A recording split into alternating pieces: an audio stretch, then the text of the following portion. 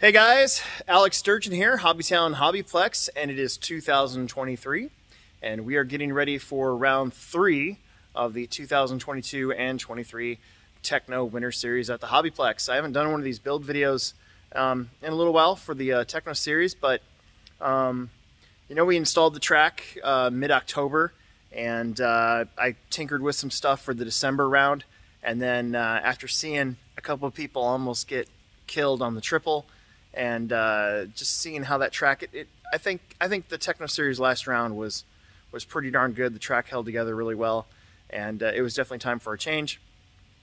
I was going to go pretty crazy, um, but I think uh, when I sometimes when I do that, I run out of time, and then I get really stressed out, and uh, I didn't want to stress myself out at all this week. Um, so we're going to change uh, one half of the track uh, this time, and then we're going to change the next half of the track uh, next time, and then we'll probably just leave it uh, for the March round, um, since there won't be that much dirt racing going on in between anyway. So that's kind of the plan.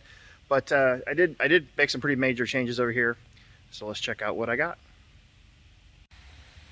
All right, so one of the biggest changes uh, was right where you see that pipe, um, right there. Um, it actually came down right where I'm standing.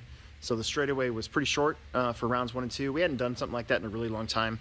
And, uh, you know, because of pit lane, the how long it is and the delta lap and everything else, you kind of you kind of can't do much beyond um, either a straightaway or um, having something short in the front um, when you when you have a track like ours. Um, you can't drop people in and then have them do stuff and then come back up because the delta lap would be faster than the actual uh, the actual lap time of a car. So um, the biggest thing was uh, I wanted you guys to be able to uh, power up and through. So I gave you guys the uh, extra little bit of the end of the straightaway. Plus, people were hitting the end of the straightaway on open track days, and it was destroying the pipe. And uh, I don't know if you guys know this or not, but pipe is all of a sudden very, very expensive, and I'm trying to make our pipe last as long as we possibly can. So, um, yeah, we're gonna have just a straightaway back again. Okay, now uh, what's really cool is you're gonna come down here and this is gonna be tamped in. This is, uh, we had a hump here, I was gonna leave it and then I had a whole bunch of extra dirt. So it's kind of hard to see right now, but there is kind of a lip there, but it's not really a lip. It's good. This is gonna be more like a drop in. So you'll, uh, you'll come down and you'll very flowy, just drop right in to this uh, spot right here. This double, um, where all this crap is at and it looks like garbage, sorry, it's, but we're gonna be using a lot of this pipe anyways we need to repaint our walls. Um, anyways, uh, you're gonna come over here. This is gonna be 180. So you're gonna 180 after this double uh, before you would land this double and send off into the triple. But now you're gonna land and you're gonna do a 180. You're gonna come right back to me. This is about uh, about 30 feet or so, maybe 40 feet. No, about 30 feet. And you're just coming straight this way.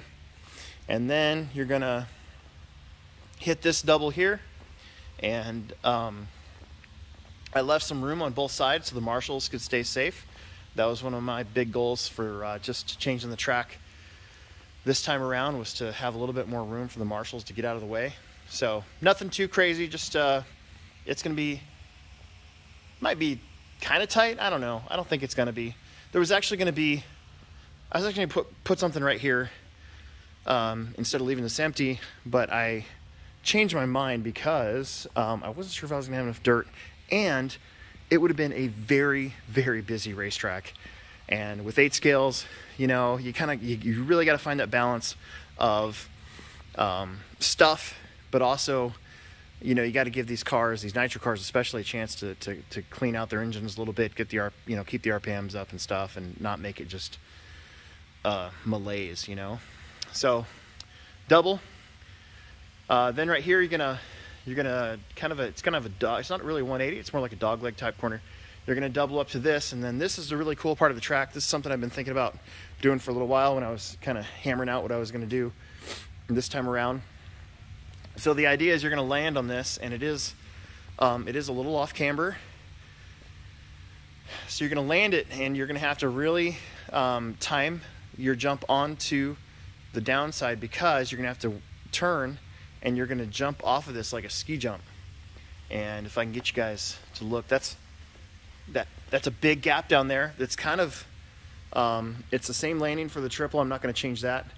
Um, but the idea is you hit that. That's the same angle as that landing to that double um, before it, and you're just going to drive off of it. I don't think there's going to be a kicker or anything like that. You're just going to send it land. That's to stay the same. And then right here, again, I had a little bit of extra dirt, so I changed this uh, single that was here into more like a like a roller in. I think most guys are just to drop off of it, just like they've been doing before, and uh, and turn and burn. Sorry, I'm trying not to get you guys dizzy. Uh, turn and burn over this change that I made last time. So um, should be pretty good. Uh, let's go. Let's go look at it from above, real quick. All right, so we're up on the driver's stand. So again, straightaways back. So wee, wee, wee, wee, wee, wee, wee, and then you're gonna drop in. Gonna just sort of float over that, double 180 to this double, turn, double, land real tight, and then uh, just sort of send it off of there, land, come back this way over that roller into that um, uphill jump onto our dirt oval. Our dirt oval was phenomenal this weekend. I don't know if you guys can see the groove or not.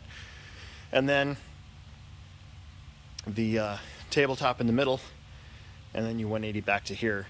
Um, I am planning on changing this side of the track that you see here in front of you. Um, if not February, it'll be for the March round. I might decide, I'll make a decision for that um, by the time February round comes around. If this if this layout's really fun, um, I might not change it just just because. Um, if it ends up being not so fun, then I am going to have to make this thing go away to do what I want to do on the other side. So there's a lot of dirt there. Um, yeah, so uh, yeah, we're making our way through. We're making our way through. It's uh, 2023 now, and uh, I you know what's crazy is um, next year, 2024. So a year from now, January will be the Hobbyplex's 20th anniversary and uh, that's pretty cool. The indoor track here um, was built in 2011, so we still got a little ways to go for that one. But the actual Hobbyplex itself, the carpet, the original carpet track in the store, it'll be 20 years um, next year. So we're on year 19 right now. Um, I think that's pretty phenomenal. There's not too many tracks in the country that can say that. So um, we just keep banging out what we can bang out and have good races and and uh, trying to make everybody feel welcome and, and, and happy and do the best we can and you know, we'll keep going. So uh, with that, uh, make sure that you subscribe, like, tell your friends, and uh, I'll probably make a video Friday when uh, when practice goes on, so you guys can see the track in action. Thanks for tuning in.